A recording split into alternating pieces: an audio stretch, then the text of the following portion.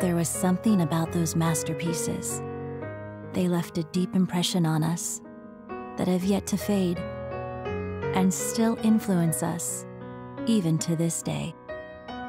It was their art, their music, their characters,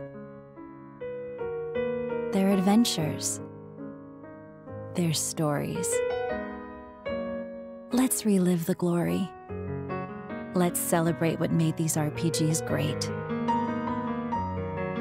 I am Setsuna.